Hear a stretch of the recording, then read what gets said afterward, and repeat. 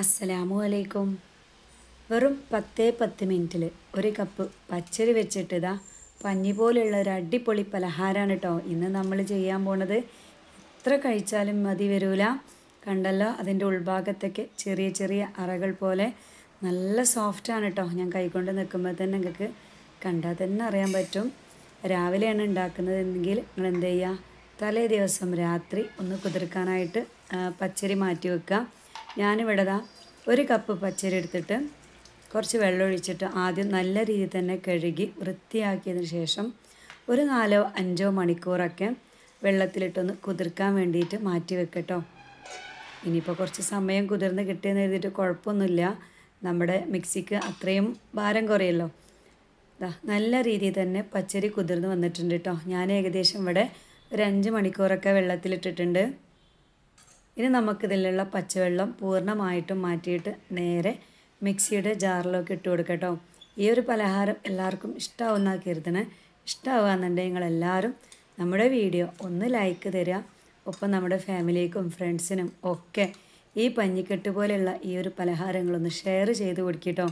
എളുപ്പമുണ്ടാക്കുക രാവിലെയൊക്കെ ജോലിക്കൊക്കെ പോണ ആൾക്കാർക്കൊക്കെ ഈസി ആയിട്ട് ഉണ്ടാക്കുക. എന്നാലോ നല്ല ടേസ്റ്റിയാണ് ഒരു കപ്പ് പച്ചരിക്ക് ഒരു കപ്പ് തൈര് എന്ന രീതിക്കാണ് കേട്ടോ നമ്മൾ ഒഴിച്ചു കൊടുക്കേണ്ടത്. അപ്പോഴേ ഇത് കറക്റ്റായിട്ട് നല്ല സോഫ്റ്റൊക്കെ ആയിട്ട് കിട്ടുള്ളൂ. ഇനിയിപ്പോൾ നല്ല പുളിയുള്ള തൈരാണ് നിങ്ങൾ എന്ത് ചെയ്യുക ഒരു അര കപ്പോ മുക്കാൽ കപ്പൊക്കെ ഒഴിച്ച് കൊടുക്കുക കേട്ടോ എന്നിട്ട് അരച്ചെടുക്കുക. ആവശ്യമെങ്കിൽ മാത്രം വെള്ളം ചേർത്ത് കൊടുത്താൽ മതി. ഞാൻ ഇതിൽ ഒരു തുള്ളി പോലും വെള്ളം ചേർത്ത് കൊടുക്കാതെയാണ് കേട്ടോ ഇത് അരച്ചെടുത്തത്. ചില തൈര് നല്ല പുളിയായിരിക്കും. അപ്പോൾ അതിന്റെ പേരിലാണ് അങ്ങനെ പറഞ്ഞത് കേട്ടോ ഇനി നമ്മൾ ഇതിലോട്ട് ഒരു അഞ്ച് ടേബിൾ സ്പൂണോളം റവ ചേർത്ത് കൊടുക്കുന്നുണ്ട്. റവ വറുത്തതോ വറുക്കാത്തതോ ഏതും എടുക്കട്ടോ കേട്ടോ. അപ്പോൾ നമ്മുടെ ഈ ഒരു ബാറ്റർ നല്ല ലൂസായിട്ടാണ് കേട്ടോ നിൽക്കുന്നത്. തൈരിന്റെ ആ ഒരു ഇതും അതുപോലെ തന്നെ പച്ചരിയും കൂട്ടി അരച്ചത്. അതിലോട്ട് നമ്മുടെ മാവൊക്കെ ഒന്ന് നല്ല രീതിയിൽ വരാനും ഒരു ചെറിയ തരിയോട് കൂടിയൊക്കെ ഉണ്ടാകുമ്പോഴേ നല്ല സോഫ്റ്റൊക്കെ ആയിട്ട് കിട്ടുള്ളൂ കേട്ടോ. അപ്പോൾ അതിനൊക്കെ വേണ്ടിയിട്ട് ഇതാ നമ്മൾ അഞ്ച് ടീസ്പൂൺ റവയൊക്കെ ഇട്ട് കൊടുത്തിട്ട് സ്പൂൺ വെച്ചിട്ടോ വിസ്ക് വെച്ചിട്ടൊക്കെ ഒന്ന് ഇളക്കി കൊടുക്കാം. ഇനി നമ്മളൊരു പാൻ ഇതാ ഗ്യാസിലോട്ട് വെച്ച് കൊടുത്തിട്ടുണ്ട്. അതിലോട്ട് കുറച്ച് വെളിച്ചെണ്ണ ഒഴിച്ച് കൊടുക്കാം. പിന്നെ നമുക്ക് ഈ ഒരു ബാറ്ററൊക്കെ ഒഴിക്കാനായിട്ടാട്ടോ ഇത് നമ്മൾ ഉണ്ടാക്കുന്ന. അതിക്കൊരു അര ടീസ്പൂൺ കടുകും അര ടീസ്പൂൺ ചെറിയ ജീരകം. അപ്പോൾ ഇനി ചെറിയ ജീരകത്തിന്റെ ആ ചുവ ഇഷ്ടമില്ലാത്ത ആരെങ്കിലുമൊക്കെ ഉണ്ടെങ്കിൽ അത് നിങ്ങൾക്ക് സ്കിപ്പ് ചെയ്യാം. കടുക് പൊട്ടിച്ചൊഴിച്ച് കൊടുക്കട്ടോ ഈ ഒരു മാവിലോട്ട്. അപ്പോൾ നല്ല രീതിയിൽ തന്നെ കടുകും ജീരകമൊക്കെ പൊട്ടി ചൂടോടെ തന്നെയാണ് കേട്ടോ നമ്മുടെ മാവിലോട്ട് ഒഴിച്ച് കൊടുക്കുകയാണ് അപ്പോൾ പെട്ടെന്ന് തന്നെ ഒന്ന് ഒരു വിസ്കോ സ്പൂണൊക്കെ വെച്ചിട്ട് ഇളക്കി കൊടുക്കണം. കുറേ സമയം ഈ ചൂടിങ്ങനെ കിടന്ന ആ ഒരു ചൂടുള്ള സ്ഥലത്ത് മാവ് പെട്ടെന്ന് തന്നെ വേ വേവ് കിട്ടും അതുകൊണ്ടാണ്. അപ്പം എല്ലാം കൂടി നല്ല രീതിയിൽ തന്നെ യോജിപ്പിച്ചെടുത്തിട്ടുണ്ട്. അപ്പോൾ തൈര് കിട്ടുന്നവരൊക്കെ തൈര് തന്നെ ഒരു കപ്പ് ചേർത്ത് കൊടുക്കട്ടോ. കേട്ടോ ഒരു കപ്പ് പച്ചരിക്ക് ഒരു കപ്പ് തൈര്. അത്യാവശ്യം ഒരു മൂന്ന് പേർക്കൊക്കെ വയറ് നിറച്ച് കഴിക്കാൻ തന്നെ ഈ ഒരു പലഹാരം ഉണ്ടാവും. അപ്പോൾ അതാ എല്ലാം കൂടി നല്ല രീതിയിൽ നമ്മൾ മിക്സ് ആക്കിയിട്ടുണ്ട്. ഇനി നമുക്കിതിലോട്ട് കുറച്ച് മല്ലിച്ചപ്പ് നിങ്ങളെ കയ്യിലുണ്ടെങ്കിൽ മാത്രം ചേർത്ത് കൊടുക്കാം. ഇല്ലെങ്കിൽ നമുക്ക് എന്ത് ചെയ്യാം? ഒരു രണ്ട് രണ്ട് കറിവേപ്പിന്റെ ഇല ചെറുതായിട്ട് അരിഞ്ഞിട്ട് കൊടുക്കാം കേട്ടോ. അതുപോലെ തന്നെ ഒരു ചെറിയ കഷ്ണം ഇഞ്ചി. അതും കൂടി ഈ ഒരു സമയത്ത് ഇതിലോട്ട് ചെറിയ കഷ്ണങ്ങളാക്കിയിട്ട് നമുക്ക് ഇട്ട് കൊടുക്കാം. മല്ലിച്ചപ്പിന്റെ അളവൊന്നും ഞാൻ കൃത്യമായിട്ട് പറയണില്ല. ചിലർക്ക് ഇതിന്റെ ടേസ്റ്റ് ഇഷ്ടമാണല്ലേ അപ്പോൾ ടേസ്റ്റ് ഇഷ്ടമുള്ളവർ അതിനനുസരിച്ച് കൂട്ടി ഇട്ട് കൊടുക്കുക. ഞാനിവിടെ ഏകദേശം ഒരു രണ്ട് ടീസ്പൂണാണ് കേട്ടോ മല്ലിയിലെടുത്തത് പിന്നെ കുറച്ച് ഒരു ചെറിയ കഷ്ണം ഇഞ്ചിയും. ഒരുപാടൊന്നും ഇഞ്ചി ഇടേണ്ട കുറച്ച് മാത്രം മതി കേട്ടോ അതിന്റെ ഒരു ടേസ്റ്റ് നമുക്ക് ഈ ഒരു പലഹാരത്തിൽ കിട്ടണം. അത്ര മാത്രം മതി. അങ്ങനെ രണ്ടും ഇട്ട് കൊടുത്തിട്ട് അതും കൂടി നമുക്ക് ഇതിലോട്ട് നല്ല രീതിയിൽ തന്നെ ഒന്ന് മിക്സ് ആക്കി എടുക്കാം കേട്ടോ ഈ ഒരു സമയത്തൊക്കെ നമ്മുടെ റവ അതിൽ കിടന്നിട്ട് നല്ല രീതിയിൽ തന്നെ കുതിർന്ന് കിട്ടും. അപ്പോൾ ആദ്യം തന്നെ റവ ഇടാൻ ആരും മറക്കല്ലേ? അതാ പിന്നെ നമ്മളിതാ ഒരു കാൽ ടീസ്പൂൺ ബേക്കിംഗ് സോഡയാണ് കേട്ടോ ഇട്ട് കൊടുക്കുന്നത്. ഇത് നമ്മൾ റെസ്റ്റ് ചെയ്യാനൊന്നും വെക്കുന്നില്ല. മാവ് അരച്ച ഉടനെ തന്നെ ഇത് വേവിച്ചെടുക്കാൻ പോവുകയാണ്. അപ്പോൾ ബേക്കിംഗ് സോഡ ഇടാൻ പറ്റില്ല കേട്ടോ. കാരണം എല്ലാവർക്കും അറിയാം പച്ചരി അരിപ്പൊടിയൊക്കെ എന്താ ഹാർഡാണല്ലേ അതിനെ സോഫ്റ്റ് ആക്കി എടുക്കണമെങ്കിൽ നമ്മൾ എന്ത് ചെയ്യണം? ബേക്കിംഗ് സോഡ ഇട്ടേ പറ്റുള്ളൂ. അതല്ല എന്നുണ്ടെങ്കിൽ തലേന്ന് രാത്രി അരച്ച് വെക്കുക. രാവിലെ നമുക്കിത് വേവിച്ചെടുത്താൽ മതി. ഇപ്പോൾ തന്നെ നമ്മുടെ മാവ് ചെറിയ രീതിയിലൊന്ന് പൊങ്ങി വന്നിട്ടുണ്ട് കേട്ടോ. ചെറിയ ചെറിയ ബബിൾസൊക്കെ ഇങ്ങനെ വന്നിട്ട് അപ്പം ഞാനിന്ന് നമ്മൾ ഈ ഒരു കേക്കിന്റെ ഈ ഒരു ടിൻ ഉണ്ടല്ലോ ഇതിൽ വെച്ചിട്ടാണ് വേവിച്ചെടുക്കുന്നത്. ഇതിപ്പോൾ എല്ലാവരുടെ കയ്യിലും ഉണ്ടായിക്കൊള്ളണമെന്നില്ല. ഒരു ഇതാ ഇതുപോലത്തെ പ്ലേറ്റ് അല്ലെങ്കിൽ നമ്മൾ കറിയൊക്കെ എടുക്കുന്ന പാത്രമൊക്കെ ഉണ്ടല്ലോ. ചെറിയ ചെറിയ ഇങ്ങനെ സ്റ്റീലിന്റെ കൊണ്ടുള്ള പാത്രങ്ങളൊക്കെ അതിൽ വെച്ചിട്ടും ഇത് നമുക്ക് സ്റ്റീം ചെയ്തിട്ടാണ് വേവിച്ചെടുക്കണം കേട്ടോ. അപ്പോൾ ആവിയിൽ വേവിച്ചൊരു പലഹാരമാണ് ഹെൽത്തിയാണ് നിങ്ങളെല്ലാവരും ഒന്ന് ചെയ്ത് നോക്കുക. അപ്പോൾ ഞാനിതിലൊരു ഇത്തിരി വെളിച്ചെണ്ണ അടിഭാഗത്തൊക്കെ ഒന്ന് തേച്ച് കൊടുക്കുന്നുണ്ട്. ഈ ഒരു പാത്രത്തിൽ ഒട്ടിപ്പിടിക്കാതിരിക്കാൻ വേണ്ടിയിട്ടാട്ടോ അങ്ങനെ ചെയ്ത്. ഇനി നമുക്കിത് മാവ് ഒഴിച്ച് കൊടുക്കാം.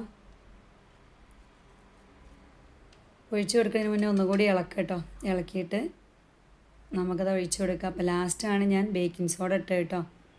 ബേക്കിംഗ് സോഡ ഇടുമ്പോഴേക്കും തൈരിന്റെ ഒരു ചെറിയൊരു പുളിയും ഒക്കെ കൂടിയിട്ട് ഇത് നല്ല രീതിയിൽ തന്നെ പൊങ്ങി വരും. അപ്പോൾ മുഴുവനായിട്ട് അതിലോട്ട് ഒഴിച്ചു കൊടുത്തു. ഇനി ഇങ്ങനെ വേവിക്കാൻ താല്പര്യമില്ലാത്തവർക്ക് ചെറിയ ചെറിയ പാത്രങ്ങളുണ്ടല്ലോ അതിൽ വെച്ച് സ്റ്റീം ചെയ്തെടുത്താലും മതി. ഇങ്ങനെയല്ലേ ഒന്നും കൂടി എളുപ്പം. പ്രത്യേകിച്ച് രാവിലെയൊക്കെ ഇങ്ങനെയൊക്കെ ഒന്ന് ഉണ്ടാക്കിയിട്ട് അതിങ്ങനെ കട്ട് ചെയ്തെടുത്താൽ പോരെ. അപ്പോൾ രാവിലെയൊക്കെ വളരെ എളുപ്പത്തിൽ ഉണ്ടാക്കുകയും ചെയ്യാം. നല്ല ടേസ്റ്റാണ് കേട്ടോ അത് കഴിക്കാനായിട്ടും. അങ്ങനെ ഞാനിതാ എന്റെ കയ്യിൽ സ്റ്റീമർ ഇല്ലാത്തതുകൊണ്ട് ഇതാ ഒരു പാത്രത്തിലോട്ട് ചെറിയൊരു തട്ടിട്ട് കൊടുത്തിട്ട് അതിന്റെ മുകളിലായിട്ട് നമ്മളെ മാവൊക്കെ വെച്ച് കൊടുക്കുകയാണ്. അപ്പോൾ എനിക്കിവിടെ ഒരു ചെറിയൊരു അമളി പറ്റിയത് ഞാൻ അതിന്റെ മുകളിലായിട്ട് ആദ്യം ഒരു ചെറിയൊരു പാത്രം വെച്ച് കൊടുത്തതിന് ശേഷം കേട്ടോ ഇത് അടച്ച് വെച്ച്. അപ്പോൾ ഇത് വെന്ത് വന്നപ്പോൾ നന്നായിട്ട് പൊങ്ങി വന്നിരുന്നു കേട്ടോ പൊങ്ങി വന്നിട്ട് നമ്മളിട്ട് കൊടുത്ത ആ ഫസ്റ്റ് തട്ടുണ്ടല്ലോ ആ തട്ടുമ്പോൾ ചെറുതായിട്ടൊന്ന് ഒട്ടിപ്പിടിച്ചിരുന്നു. അതാണ് അതിന്റെ മുകൾ ഭാഗം ഇങ്ങനെ കടിച്ച പോലെ കേട്ടോ കണ്ടല്ലോ. അപ്പോൾ നിങ്ങൾക്ക് ആർക്കും ഒരു അമളി പറ്റണ്ട. അപ്പോൾ നേരിട്ടാണ് മൂടി കൊടുത്താൽ മതി കേട്ടോ ഞാനിതിന്റെ നീരാവി ഇങ്ങനെ ഉറ്റിയിട്ട് ഹോൾസ് ഉണ്ടാവണ്ടല്ലോ എന്ന് കരുതി ചെയ്തതാണ്. പക്ഷേ അത് വീർത്ത് നല്ലോണം വന്ന് പൊങ്ങി വന്ന് മുകളിലോട്ട് ആ ഒരു പ്ലേറ്റിന്റെ മുകളിലൊക്കെ ഒട്ടിപ്പിടിച്ചിരുന്നു. അപ്പോൾ ഉൾഭാഗമൊക്കെ നല്ല രീതിയിൽ തന്നെ വെന്ത് വന്നിട്ടുണ്ട് കേട്ടോ നല്ല സോഫ്റ്റാണ്. അപ്പോൾ ഇത് നമുക്ക് ചൂടാറിയിട്ട് ഈ ഒരു പാത്രത്തിൽ നിന്ന് ഇളക്കി കൊടുക്കാം. അപ്പോൾ ഇതിലേക്കുള്ള ഒരു അടിപൊളി കോംബോ എന്ന് പറയുന്നത് ഇന്ന് നമ്മൾ ഒരു സൂപ്പർ ടേസ്റ്റി ആയിട്ടുള്ള എന്നാൽ ഈസി ആയിട്ടുള്ള ഒരു തക്കാളി ചട്നിയാണ് കേട്ടോ അതിന് വേണ്ടിയിട്ട് ഇതാ ഒരു ചട്ടി ഇരുമ്പിന്റെ ചട്ടിയൊക്കെ ഗ്യാസിലോട്ട് വെച്ച് കൊടുത്തിട്ട് ഒരു ഇച്ചിരി വെളിച്ചെണ്ണ ഒഴിച്ച് കൊടുക്കുകയാണ്. പിന്നെ ഒരു ഏഴില്ലി വെളുത്തുള്ളിയും ഒരു പന്ത്രണ്ട് ഇല്ലി ചീരുള്ളി ചെറിയ ഉള്ളി കേട്ടോ അതിങ്ങനെ നീളത്തിൽ അരിഞ്ഞ് അത് ഇട്ട് കൊടുത്തിട്ടുണ്ട്. പിന്നെ ഞാനൊരു മൂന്ന് തക്കാളി കേട്ടോ ഞാനെടുത്തത്. തക്കാളിക്ക് അപ്പം എപ്പോഴും നമ്മളെ വീട്ടിലുണ്ടാവണതാണ്. അല്ലാന്നുണ്ടെങ്കിൽ തേങ്ങാ ചട്നിയും ഇതിലേക്ക് നല്ലൊരു കോംബോ തന്നെയാണ്. നമ്മുടെ കയ്യിലുള്ള വെച്ചിട്ട് നമുക്ക് ചെയ്യാട്ടോ.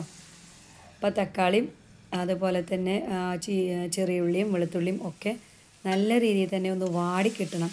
അപ്പോൾ അതിന് വേണ്ടിയിട്ട് ഞാൻ നല്ല രീതിയിൽ തന്നെ ഒന്ന് അടച്ച് വെച്ചാണ് കേട്ടോ അടച്ച് വെച്ച് വേവിക്കുകയാണെങ്കിൽ ആ ഒരു ആവി കയറിയിട്ട് പെട്ടെന്ന് തന്നെ തക്കാളിയൊക്കെ ഒന്ന് വെന്ത് ഉടഞ്ഞ് വന്നോളും. അതാ നല്ല രീതിയിൽ തന്നെ വെന്ത് ഉടഞ്ഞ് വന്നിട്ടുണ്ട് കേട്ടോ ഇതിലോട്ട് നമ്മൾ ഒരുപാട് മസാലപ്പൊടികളും ഒന്നും ചേർക്കുന്നില്ല കേട്ടോ. എല്ലാം കുറേശ്ശെയാണ് ചേർക്കുന്നത്. നല്ല ടേസ്റ്റുമാണ് ഈ ഒരു ചട്നി കഴിക്കാനായിട്ട്. ഈ ഒരു സമയത്ത് രണ്ട് തണ്ട് മല്ലിച്ചപ്പ് അരിഞ്ഞ് ചേർത്തിട്ടുണ്ട്. അതുപോലെ തന്നെ ഒരു തണ്ട് കറിവേപ്പിന്റെലയും ഈ ഒരു സമയത്ത് ഇതിലേക്ക് നമുക്ക് ചേർത്ത് കൊടുക്കാം. ഒരുപാടൊന്നും വേണ്ട കേട്ടോ. കുറച്ച് മതി. ഇനി നമുക്ക് ഇതേക്കുള്ള മസാലപ്പൊടികളൊക്കെ ഒന്ന് ചേർക്കാം. ഞാനിവിടെ കാൽ ടീസ്പൂൺ കാശ്മീരിന്റെ മുളക് പൊടിയാട്ടോ ഇട്ട് കൊടുക്കുന്നത്. അതുപോലെ തന്നെ ഒരു നുള്ള് മഞ്ഞൾപ്പൊടിയും രണ്ടും നന്നായിട്ടൊന്ന് ഇളക്കിയിട്ട് ചെറിയ രീതിയിൽ എണ്ണ ഇങ്ങനെ മുകളിലായിട്ട് കാണുന്ന ഒരു സമയം വരും. ആ സമയം വരെ ഒന്ന് ഇളക്കി കൊടുക്കാം. പിന്നെ നമുക്കിത് ചൂടാറിയതിന് ശേഷം ഒരു പ്ലേറ്റിലോട്ട് മാറ്റിയിട്ട് നമുക്ക് മിക്സിയുടെ ജാറിലിട്ടിട്ടേ നന്നായിട്ടൊന്ന് പേസ്റ്റാക്കി അടിച്ചെടുത്താൽ മാത്രം മതി. നല്ല രുചിയാണ്. പ്രത്യേകിച്ച് നമ്മുടെ സാധാരണ ചോറിന്റെ കൂടെയൊക്കെ ഇത് കഴിക്കാൻ നല്ല സൂപ്പർ ടേസ്റ്റാട്ടോ. ഇതും ഒരു പപ്പടമൊക്കെ ഉണ്ടെങ്കിൽ ചോറിന് വേറൊരു കൂട്ടാനൊന്നും വേണ്ട. നിങ്ങൾ എന്തായാലും ഒന്ന് ചെയ്ത് നോക്കാം.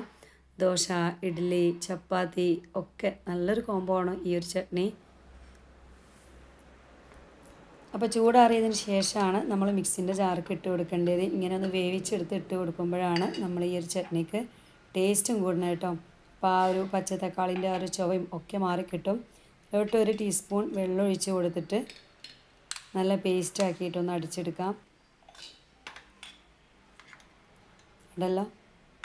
നല്ലൊരു സ്മെല്ല് കേട്ടോ നമ്മൾ ആ ഒരു മല്ലിച്ചപ്പിന്റെയൊക്കെ സ്മെല്ല് നല്ല രീതിയിൽ തന്നെ കിട്ടുന്നുണ്ട്.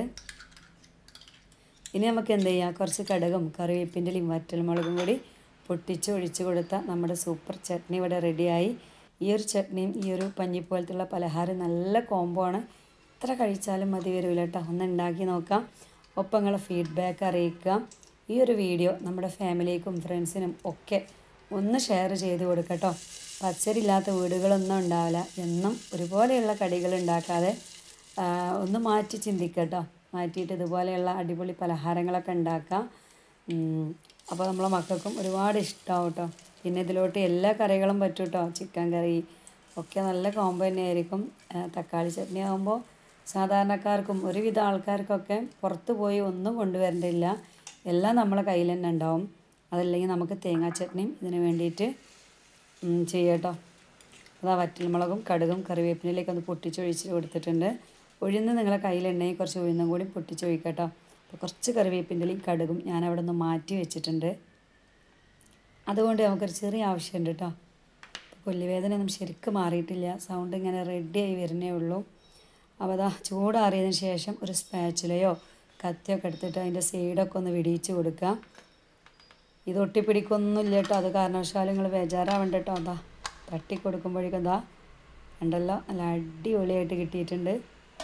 ഇനി ഇതിന്റെ മുകളിലായിട്ട് എന്ത് ചെയ്യുക നമ്മൾ നേരത്തെ ഒന്ന് കുറച്ച് കറിവേപ്പിന്റെലയും അതുപോലെ കടുകും നല്ല രീതി തന്നെ പൊട്ടിച്ച് വെച്ചിട്ടുണ്ട് കേട്ടോ. അതും കൂടി ഒഴിച്ചെടുത്ത് ഒന്ന് ഡെക്കറേറ്റ് ചെയ്യാം. ഇതെങ്ങനെ ചെയ്യുമ്പോൾ എന്താണെന്ന് വെച്ചാൽ നല്ല ടേസ്റ്റ് ഉണ്ട് കേട്ടോ. ഈ ഒരു കടുക് ഈ ഒരു പലഹാരത്തിന്റെ കൂടെ ഇങ്ങനെ കടിക്കാൻ കിട്ടുമ്പോൾ ഇഷ്ടമില്ലാത്തവർക്ക് ഇത് സ്കിപ്പ് ചെയ്യാം. ഇങ്ങനെ ചെയ്യുമ്പോൾ നല്ലൊരു മൊരിച്ചൊരു ടേസ്റ്റ് തന്നെയാണ് നമ്മുടെ പലഹാരത്തിന്. കണ്ടല്ലോ? നല്ല പഞ്ഞിക്കെട്ട് പോലുള്ള നല്ല അടിപൊളി സ്പോഞ്ചി ആയിട്ടുള്ള ഒരു പലഹാരം. എല്ലാവരും ചെയ്ത് നോക്കിയിട്ട് ഫീഡ്ബാക്കൊക്കെ ഒന്ന് അറിയിക്കുക. ഇനി നമുക്കിതൊന്ന് കട്ട് ചെയ്യാം. ഇതിന്റെ ഉൾഭാഗം എന്ന് പറഞ്ഞാൽ നമ്മൾ സാധാരണ കേക്കൊക്കെ ഉണ്ടാക്കുമ്പോൾ കണ്ടിട്ടില്ല? നല്ല സ്പോഞ്ച് പോലെ ഇങ്ങനെ ഉൾഭാഗത്ത് ചെറിയ ചെറിയ അറകളോട് കൂടിയിട്ട് നല്ല ആരെടുത്ത് നിൽക്കണം അതുപോലെ തന്നെ നമുക്കിത് കിട്ടിയിട്ടുണ്ട് കേട്ടോ. അപ്പോൾ ഞാനിതാ ഏത് ഷേപ്പിൽ വേണമെങ്കിലും നമുക്ക് ഇത് കട്ട് ചെയ്തെടുക്കുക. സ്ക്വയറോ അതല്ല ഏതാ രൂപത്തിലാണെങ്കിലും ആ രൂപത്തിലൊക്കെ കട്ട് ചെയ്ത് റെഡിയാക്കി എടുക്കാം. നമ്മുടെ വീട്ടിലൊക്കെ ഗസ്റ്റൊക്കെ വരുമ്പോൾ നിങ്ങളിതൊന്ന് ഉണ്ടാക്കിയിട്ടൊക്കെ കൊടുക്കട്ടോ. അവർക്കൊക്കെ എന്തായാലും ഭയങ്കര ഇഷ്ടമാവും പിന്നെ ഇതിന് നല്ലൊരു ടേസ്റ്റാണ് കേട്ടോ തൈര് എന്നാൽ നമ്മൾ ഒരുപാട് പുളിയൊന്നുമില്ല. പുളിയില്ലാത്ത തൈരാണ് ഞാനിവിടെ ഒരു കപ്പ് ചേർത്തിട്ടുള്ളത്. നല്ല പുളിയുള്ള തൈരാണെങ്കിൽ മാത്രം ഒരു മുക്കാൽ കപ്പ് തൈര് എടുക്കുക. ആവശ്യമെങ്കിൽ മാത്രം വെള്ളമൊഴിക്കുക അതല്ല എന്നുണ്ടെങ്കിൽ ഞാൻ പറഞ്ഞല്ലോ അതുപോലെ തന്നെ നമുക്കിത് വേവിച്ചെടുക്കാവുന്നതേ ഉള്ളൂ. അപ്പോൾ അതാ നമ്മുടെ സൂപ്പർ ടേസ്റ്റ് ആയിട്ടുള്ള തക്കാളി ചട്നിയും നമ്മളെ പഞ്ഞിക്കെട്ട് പോലുള്ള പല പലഹാരമൊക്കെ ഇവിടെ റെഡിയായി വന്നിട്ടുണ്ട് കേട്ടോ.